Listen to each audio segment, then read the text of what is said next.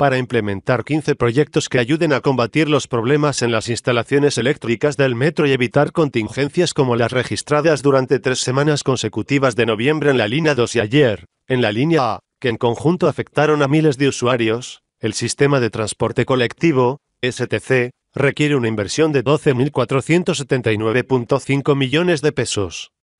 Así lo indican estimaciones contenidas en el Plan Maestro del Metro 2018-2030, donde se describen los proyectos necesarios para sustituir, actualizar o rehabilitar las instalaciones eléctricas de alta y baja tensión de la red del STC.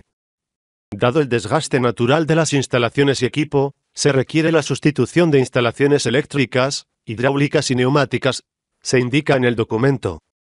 Uno de los proyectos más onerosos, con una inversión de 3.640 millones de pesos, es el que se refiere a la rehabilitación del cable de media tensión para alimentar las subestaciones de rectificación, alumbrado y fuerza de las líneas 2 y 3.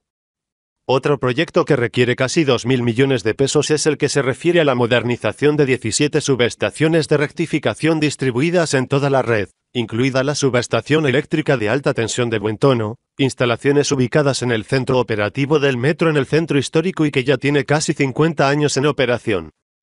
Se incluye también la modernización del cableado de mediana tensión para los circuitos de tracción y alumbrado y fuerza de la línea 1.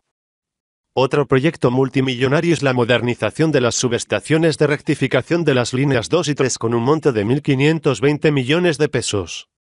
Uno más es la modernización del sistema de alumbrado integral normal y de emergencia en 10 estaciones de la línea 1 y en las líneas 2 y 3 completas. Ello con una inversión de 1.100 millones de pesos.